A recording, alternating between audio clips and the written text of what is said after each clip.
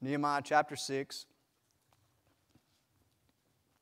Verse number 1, the Bible says this it says, Now it came to pass when Sanballat and Tobiah and Geshem the Arabian and the rest of our enemies heard that I had builded the wall and that there was no breach left therein, though at that time I had not set up the doors upon the gates, that Sanballat and Geshem sent unto me, saying, Come, let us meet together in some one of the villages in the plain of Ono. But they thought to do me mischief. And I sent messengers unto them, saying, I am doing a great work, so that I cannot come down. Why should the work cease whilst I leave it and come down to you? Nehemiah said, I am doing a great work, so that I cannot come down. Brother Tyler, children, will you pray for us? And then everybody can be seated and we'll get started.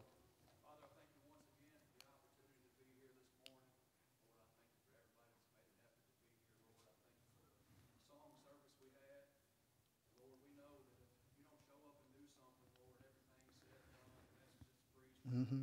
Yep.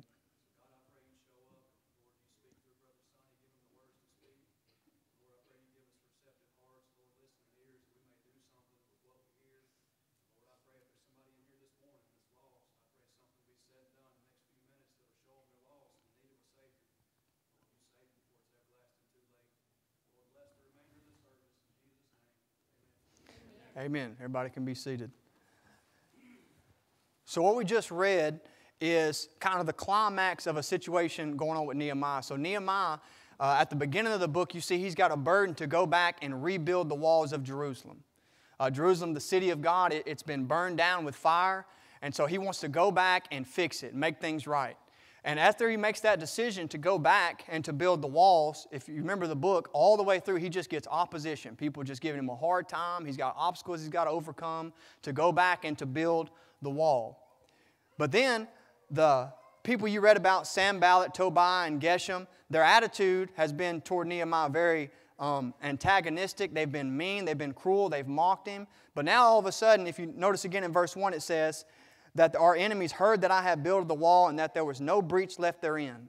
And so all of the wall up until this point, it wasn't just a fourth done or halfway done, it's finished. All the walls are up and their tone changes. And now all of a sudden they wanted Nehemiah uh, to come down and to meet with them. They're like, look, let's make some type of compromise here. Surely we can come to some type of agreement. You can calm down a little bit. We don't have to be enemies anymore. We can fix it. And maybe we can come to some terms of agreement.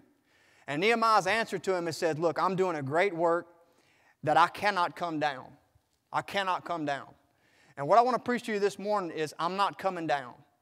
And as Christians and as this church, I'm telling you, the world will try to pull us down from this great work that we're doing this great work for Jesus Christ that we got going, there'll be distractions and different types of obstacles try to say, look, will you just come down, maybe tone it down a little bit? Maybe we can uh, work together and see some, all the things we have in common, and everybody could just get on the same page. And our answer to them is the same one Nehemiah gave listen, we are not coming down.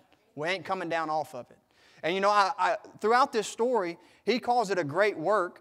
And obviously, this is something that lasts on for generations and generations this temple that he goes and rebuilds. Now people have a place to come worship. People have a place to come and hear, hear the Word of God and to be close to God. And it's all thanks to somebody going back and doing that great work. And when you think about Nehemiah, that's what you think about is him going back and rebuilding the wall. And I was thinking about other men throughout the Bible that we remember for basically just one great work. You know, if I was to say the name Noah, not this Noah, okay, not the one doing the children's office, Noah from the Bible, what do you think? You think about that big old ark that he built. Him and his sons built that ark. God promised that there was going to be rain. And uh, he's preaching and telling that the rain's going to come, and he builds that ark. And I'm certain, I'm certain, whenever he preached that message and said, Look, it's going to be bad, God's going to destroy the whole world, people said, No, no, he's not. I'm not worried about it. And you can tell that by the fact that nobody else gets on the ark except him and his family. Yet he stays building it, nail after nail, board after board, until the ark is finished and he gets on it. And the Bible says the Lord shut the door and shut him in. And I'm certain as the water rose, according to statistics, if the rain was gradual, it was going over 30 feet an hour, the water was rising. And don't you know, after about two, three, four, five, six feet going up, all those people started saying, Noah, Noah! And he's like, I ain't coming down. I ain't coming down. It's too late. You had your chance. I think about Moses. You know, Moses, he comes and God's asked me, he says, You go tell Pharaoh the person who's in charge of all the nation of Israel, he's got them enslaved. You tell him, let my people go. And he sends back and forth on him, and you know the story. And Pharaoh starts trying to make little deals with him. He says, Okay, look, I'll let you go sacrifice, but don't go very far, and only certain of you go. And Moses keeps going back, goes, No, he said, Let my people go, every one of them. And then by the end of it, Moses doesn't back down, he doesn't compromise, and every single Jew in the nation of Egypt goes out through the Red Sea and survives. And all the Egyptians that stay don't. And all the ones that come after him. Moses made up his mind. He said, Look, you trying to make an agreement with me? No. God said all the people's going, and they all left. You know, I think about David. David and Goliath, they have this kind of uh, deal going on in the, in the valley. And Goliath says, Here's the deal. If you beat me, we'll serve you. If I beat you, you serve us. And David said, No, I'm not worried about any of that. What I'm going to do is I'm going to kill you. I'm going to go kill all of the Philistines. I'm going to give you to the fowls of the air to eat. And we're not making no deals. Nobody's getting serving nobody. Everybody's going to die. And David doesn't come down. He doesn't come down. He stays true to it. I think about uh, Shadrach, Meshach, and Abednego. You know, they, they're in a situation where Nebuchadnezzar puts up this really big image and he plays music, and the only rule is look, you can do whatever you want to at any other time, but when I play this music, I want you to bow. And Shadrach, Meshach, and Abednego say, No, look, I'm not bowing.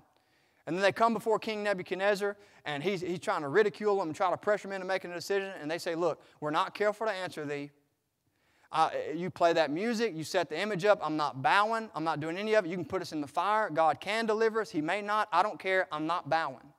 And we remember those men, not for their personality, not for how many friends they had, not for how smart they were, but for that great work that they're associated with that they did. When I say, the, when I say these names, you know this person did such and such. And so when your name is going to come up after they record you in an obituary one day, and we're going to walk by your tomb. We're going to come by the casket here at the church and say, man, this person did what? What great work will you be associated with? You know, people on their tombstone, they have to get real clever and cute and try to do something to be remembered by. And you know, and you got your high school quote, you're trying to do something funny, so say, ha ha, that's real funny or whatever. Or this person's most likely to succeed, most likely to get beat up, you know, most likely to work it. Never mind. But all these different things that these people, they try to just to get remembered. Whereas if you just do one big great work for God, people would remember you. You wouldn't have to worry so much about reputation and popularity and what other people thought. You wouldn't have to worry about if you just do something for God. And I think about even in a worldly sense, if I say some names, you'll know who I'm talking about and what they did. If I say the name Babe Ruth, everybody in here knows he played baseball. Some kids still think he's the greatest baseball player that ever lived. I mean, he ain't. But people think that. They know him for calling his shot, and then that person pitched the ball, and then he hit it right where he called the shot. They, people know Babe Ruth for that. Here's another one Michael Jordan. Even in a worldly sense, I'll say Michael Jordan, you know, you think basketball. And it's, it's debated. Think about this now. He, he's still alive. There's a man who they think is alive right now who is the greatest basketball player to ever play. Now, look, the debate's on the side. I don't care one way or the other, okay? If you're interested in debating, I'm not the guy. I don't care about Michael Jordan for a second, all right? As far as I'm aware, he's a sinner just like us, and he needs to get saved. And if he doesn't get saved, he's going to go to hell forever. And God loved him and died for him. That's what I care about Michael Jordan. But in a worldly sense, people know him from basketball, one of the greatest players to ever live. How about this? If I say this name, Tiger Woods, everybody in here knows Tiger Woods. He was a great hockey player. No. no. no. Only hockey player I know is Wayne Gretzky. Anybody know him? Not many. Okay, so Tiger Woods, he played golf. And you know, one, one thing he did too is he revolutionized the game, not just because, uh, and I learned this from my boss mainly, he's one of the Tiger Woods experts, would you say? No, up and coming expert? Yeah. and so they would have to lengthen the courses because he drove so far. I mean, that's crazy. And also in a time where it was a, primarily the sport was majority white people, you know, that played. And then he come and just took it by storm. Imagine that. We found out that something else that a black person is better than us at, you know, another sport. I mean, I think we had baseball at a time, we lost that. You know, we had football for a time, we lost that. And we had, no, I don't know if we ever had basketball. Probably not. no, but one thing we could count on was an old white man to hold the fort when it comes to golf, and now that's long gone, okay? I think what we're finding out, the general consensus is look, we're just not as good as we think we are. Somebody else is better.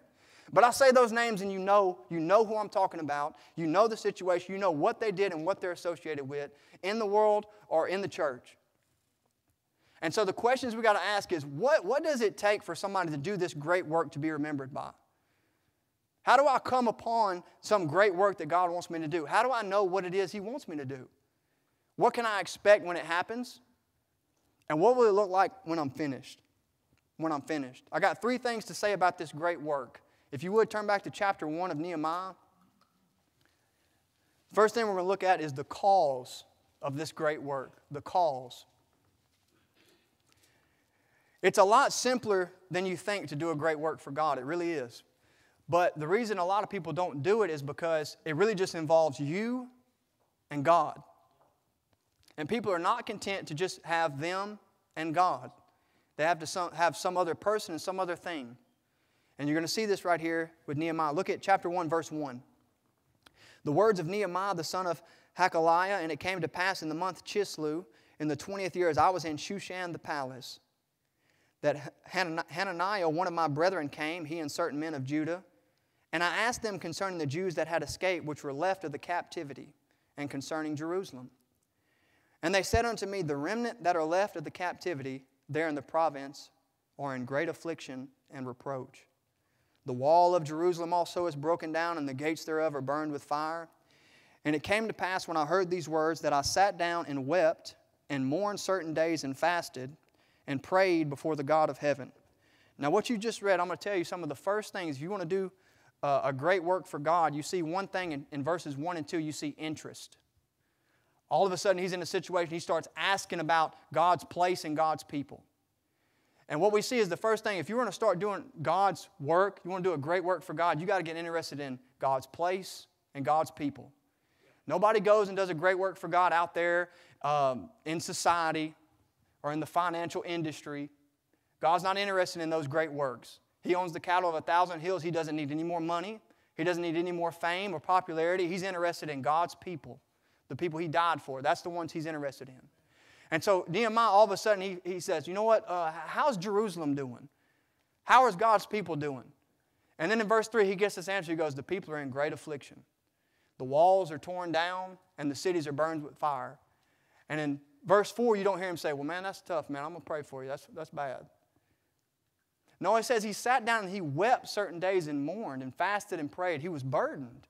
So we have an interest and then we have a burden. You know, the reason a lot of people aren't tore up when they come to church is because their interest and their attention is all in the world throughout the week. And then on Sunday, you have to try to work up some type of burden. And you remember what it was like when you were really invested in church and you used to cry in church and songs meant something to you. And it was special coming in this place because you used to be out in the world and now your mind's just out there the whole time. And you'll never get your burden where your interest isn't. And your interest would be what you're excited about. I mean, think about this. You know, uh, I've talked about uh, I don't really care to debate about Michael Jordan. I used to be a, a huge sports guy, you know. And then once I got saved, I'm not saying I don't like sports. I mean, I still play on the softball team. I like it, but that stuff doesn't have the same uh, draw to me as it used to. And so I don't really know about these people who are saved and saved for a long time. They're still just excited about playing sports as they are reading the Bible or praying or church. I don't know about people like that. I really don't. And my interest started to change, but I remember I went to a basketball game with Brother Mark. It was a high school basketball game. It was not my high school game. I, I, I don't care about high school basketball, but especially not if I don't even know who's playing or whatever. By the end of it, I'm sitting there watching, and I had to go get some popcorn. And I went and got a drink, and all of a sudden I'm in it, and I start seeing the way this guy's playing. I like the way he's playing. You know, he's playing aggressive. He's good on defense. I like that. This other guy's crying and pouting every time he gets fouled. I'm like, I don't really like that guy. I don't even know him, but I got people I like and don't like now. I'm like, man, number four, man, he's trash. I don't even like that guy. They didn't just give the 11 the ball. We'd, we'd done one by now. I'm talking about we would have done one by now. I didn't even go to this high school. I ain't even in high school. I'm talking about we. and so as the game's going on, I'm starting noticing this ref does not call charges. He won't call charges whatsoever. And their team, one team's playing real passive, so they're never going to be in that situation. They just throw up threes and shoot bricks. And this other team's actually trying to take it to the lane, the team I'm watching, and they keep getting fouls called on them because they won't call the charge. And so I'm getting upset. And then by the end of it, I think it was halftime or something like that. Uh, the team's, you know, going to the locker room, the ref's coming by, and I stood up God's honest truth. I wish, I wish it wasn't. I stood up. I was probably about seven or eight rows up. I looked real, real mad. And I pointed, I said, Hey, boy! And this grown man looked up at me, this referee, and I said, Quit chewing on that whistle and blow it. And I sat there for a second. I went, What am I doing? I sat down and I felt so awkward. Of course, Mark's laughing the whole time. I'm not getting no grace over here. When I stood up, he should have told me to sit down, but he didn't. And so I stood up. There was probably a 55 year old man I just yelled at and called him a boy because he, he won't call. But it's all of a sudden, when I hadn't been in that element and I come back to it, now my interest is there to where I care enough to stand up and yell at a grandfather who's just trying to do his job, make a little bit money, a little money on the side. And me and him done got contentious now about this game that doesn't matter. And let's be honest. Some of you is the same way. Your interests and you get burdened about stuff that does not matter, and you get all invested and emotional about stuff that God does not care about, and you'll be just like me, standing up yelling at somebody about something that really does not matter. But Nehemiah gets burdened about God's people and he gets interested. And then what naturally flows out of that in verse 4 through 11 is prayer. Just him and God praying. A lot of people get upset and burdened, feel like they got to go do something right off the bat. No, no, first thing you need to do is pray. And people say, man, I struggle praying. Well, look, let, uh, let me help you. You'll never have another excuse for not having a prayer life, okay? If you'll put your interest on the right things, it'll create the right burden, and you won't have to force yourself to pray. It'll just naturally happen. People set aside time to pray. Set aside time to think on the things of God, and then prayer will naturally flow out of it. I promise. Now, am I saying I'm great at praying? No, it's because I don't take the time to put my interest and burden on the right. As I told you, I'm yelling at referees, okay? I'm still working on this too. All right? But that's what happens. And then you see in chapter 2, notice this in chapter 2, verse 1. It says, It came to pass in the month forward, I mean Nisan, in the 20th year, I'm just seeing if everybody's paying attention, of Artaxerxes the king, that wine was before him. And I took up the wine and gave it unto the king. Now I had not been before time sad in his presence. Wherefore the king said unto me, Why is thy countenance sad, seeing thou art not sick? This is nothing else but sorrow of heart. Then I was very sore afraid, and said unto the king, Let the king live forever. Why should not my countenance be sad when the city, the place of my father's sepulchres, lieth waste, and the gates thereof are consumed with fire? Notice this the king doesn't get upset. Then the king said unto me, For what dost thou make requests? So I prayed to the God of heaven. And so Nehemiah is in a situation, think about this.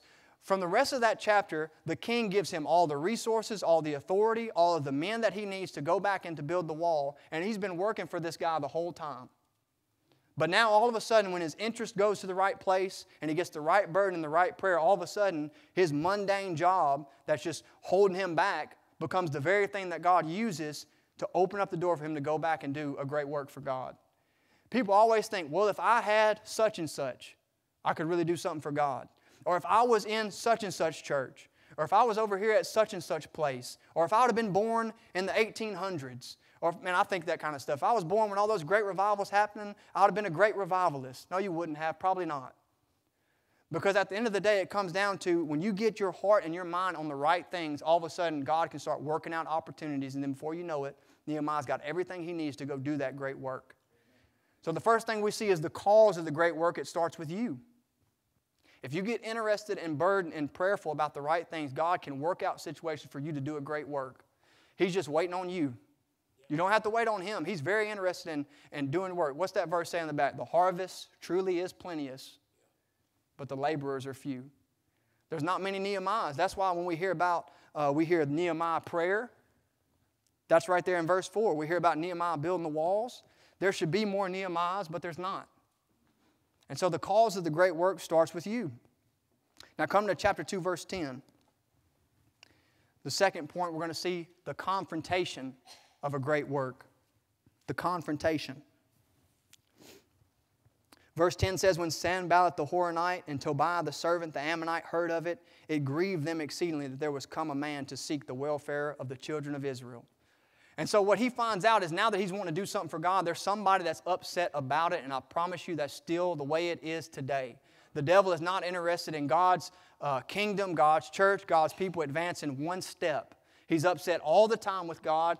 Uh, nobody can stop him. He's the father of the children of pride, and you're not going to sway him, and he's going to wake up. He, I mean, he doesn't even have to wake up. When you wake up, he's ready and waiting on you and trying to set you up to fail.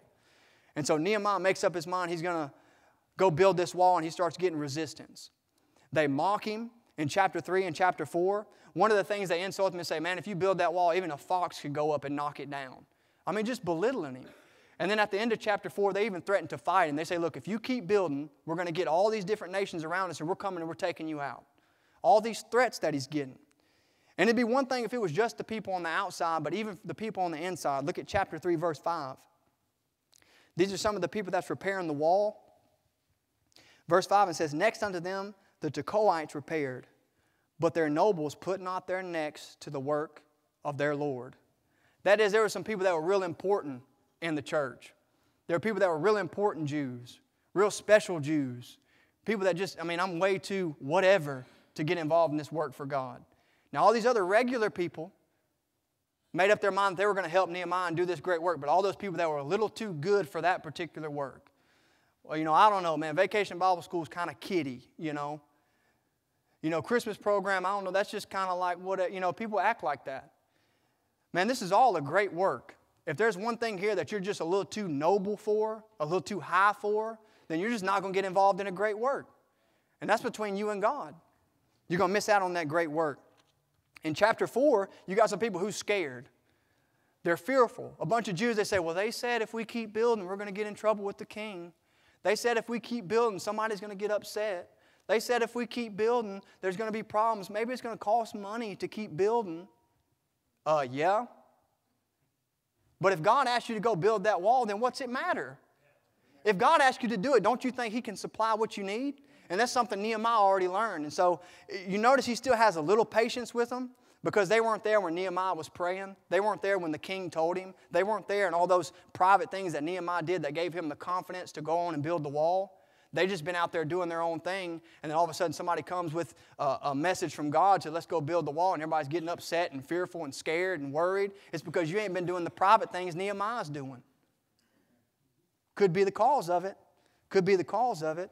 And so he's got all this opposition from the outside and from the inside for this great work. And let me tell you, that's exactly how it goes on today. Right now, there's this huge movement. I know you're aware of it, we joke about it, but honestly, they're trying to force the Christians to feel bad for anybody who's not a Christian. Think about this this whole gay pride movement and all of this stuff to try to get you to feel bad for somebody who God said was an abomination. You know, there's one religion, there's one book primarily that is completely against homosexuality. You'll never guess which one it is. It happens to be the one they try to get to feel bad. They try to make us public enemy number one so that we'll stop and we'll come down a little bit. Well, look, we're not coming down. Look, I'm sorry. It, you know, I'm sure there's a lot of people out there, they don't know any better. They're raised in a home that promotes it. And we ought to have mercy and compassion. You don't know which one was which, so you ought to just give them the gospel and pray for them. But at the same time, look, it's wrong. You shouldn't do it. That kind of stuff, if we let that around our church and around our kids, it'll warp their mind. And they'll think it won't be that big of a deal. Listen to me, it's, it's a bad place when in a, a southern city like this, we can't even go down and get chicken strips without having to deal with a bunch of primped up faggots. And the reason you might be uncomfortable right now with that is because you done got sympathetic for people that God's against. Do you know the Bible says God's angry with the wicked every day? And I got to tell you, look, I, I have to have compassion because I've never once had any type of desire or inclination to be with another man ever. But you ought to feel sorry for somebody who hasn't been taught that that's okay from a very young age. I remember one time I was watching Sports Center with my, with my dad. I was going back and I saw my family. And I was watching Sports Center, and they had a 30 for 30 on there of a boy who turned into a girl and was on his middle school and high school track team as he was coming up. And his parents were all for it. You better thank God you weren't raised in a home like that to where now you hear about Christianity and their view of God is so messed up. That's the country that we live in. They're promoting that kind of stuff. Something else, you know, I've mentioned that we joke about this and, and people get real uncomfortable about it, and uh, I'm just unconcerned with it. This Black Lives Matter stuff, let me explain something to you. We're not trying to get political here at Holy Hills Baptist Church, but that stuff is undergirded by communism and socialism and Marxism. They have no desire and no compassion for anybody that's actually an African American. Don't let them fool you on that. That stuff's wrong. That, that Bible right there doesn't have you being prejudiced against anybody. And if you're a racist, you're the one with problems. And that's, that's bad issues. That's a soul. It doesn't matter what color they are. It doesn't matter. But at the same time, that's the opposition that we get from them that I'm supposed to feel bad for somebody when I ain't never met a slave my entire life. I ain't never been a slave. None of my friends were slaves. I'm, I'm just feel bad for everybody that's ever had something bad happen to them. I can't bear the burdens of the whole world. Take that stuff to Jesus Christ and get it off social media. Black Lives Matter. And people try to get us all upset and nervous about, I mean, the coronavirus. They get us upset about this and feel bad. You know, like I'm supposed to, I'm supposed to feel bad for the fact that I'm going to make up my mind that I'm going to come to church. You might be a carrier for somebody who might be a carrier who might get somebody else sick. I remember when that first hit, I was working at UPS. I know you're tired of hearing, I'm tired of hearing it too. But I was working at UPS and I remember people freaked out because all these boxes were made in China. And some of the news that was coming out was this virus could survive on a box for three or four, three or four days now. I don't know who come up with that. And then it could travel all the way across the world on a ship, which apparently takes less than three or four days. And then get there, get on the truck, unload it, down to me, and I have to wear these gloves and this mask or I might get it. And I remember I sat down, I thought about it for about 30 seconds to 60 seconds, God's honest truth. And I said, Well, who's to say if you can have it and not show any symptoms, that somebody at the glove factory and the mask factory had it and then put it on all the gloves and all the masks. And so the thing I put on to try to keep me safe actually has it. And then I get it from that. And I start going in this endless, ridiculous cycle of, I don't know if I have it or not. Man, everybody's dead if everything they say about it's true. Everybody's in here got it and got it right now. But they get you all freaked out to where you can't come to church and do the things you know you're supposed to do because all this theoretical science stuff.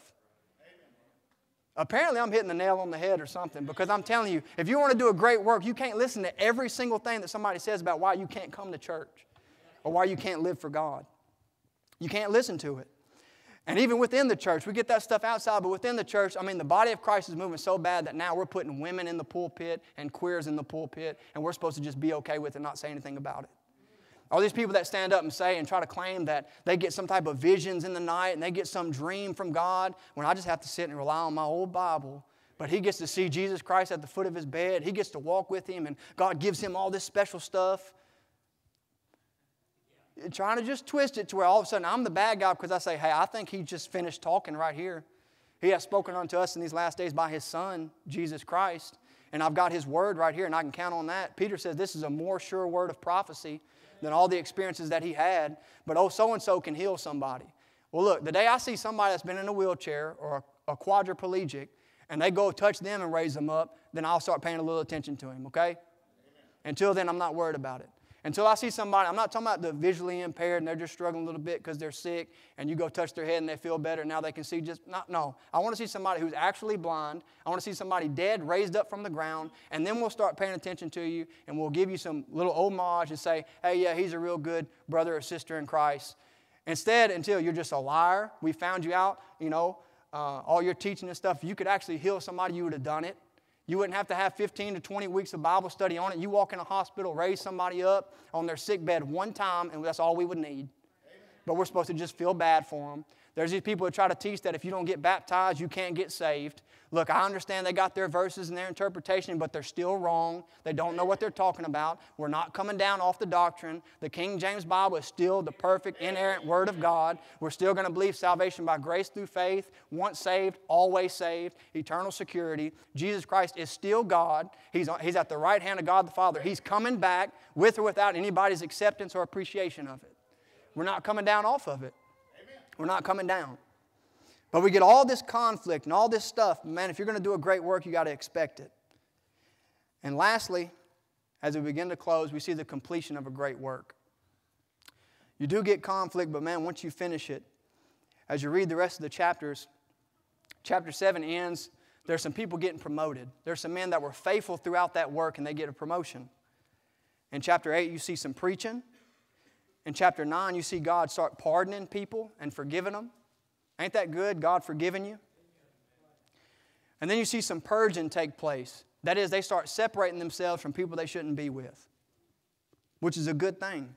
The Bible says, Be not deceived, man. Evil communications corrupt good manners. It's very important that we get around the right people at the right place doing the right thing. And I like it at chapter 9 and chapter 10, they make this covenant. All of them that make it through the work and finish it. And they make this, this covenant that says, you know, we're going to worship God, we're going to live by Him, we're not going to defile ourselves. And everybody comes by and they sign it. And they say, I'm in. I'm sealing myself unto it. I'm, I'm committing to not just do the great work, we've done it, but to maintain it. And what would be really good is if people would just say, you know what? I really do want to do a great work for God. So and so does. Sister does over here. Brother does over here. I say we just all make up our mind we're going to do a great work and we just sign to it and seal and say, look, at the revivals, I'll be there. Sunday morning, Sunday night, I'll be there. I'm going to sign on it. Wednesday night, you can see, you can expect me here. On the job site, you can expect me living right. You know, whether you find me in public or in private, I'm making up my mind, I'm sealing to it, and you can count on me, I'll be there. That's the kind of stuff you see at the completion of the work.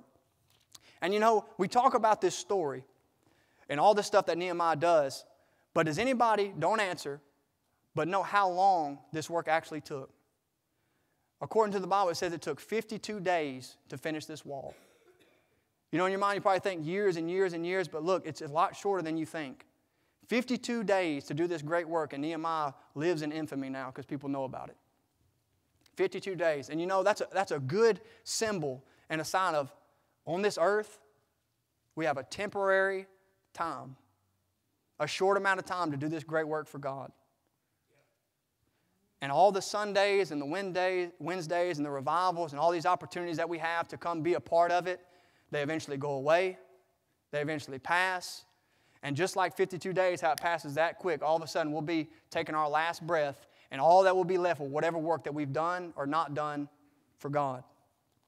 All the work that we have done or not done for God. And I think about Paul the Apostle, whenever he's finished, he says, I have fought a good fight, I have finished my course, I kept the faith. And you want to be able to say that. You want to be able to die and go to heaven knowing that you've done a great work for God. And you know, I think about Jesus Christ. He said that he, he, uh, his Father worketh hitherto, and I work. He said, I come to do the work of him that sent me. And one time there were some people that he, he fed the 5,000. They come to him they say, what, what can we do that we might work the works of God?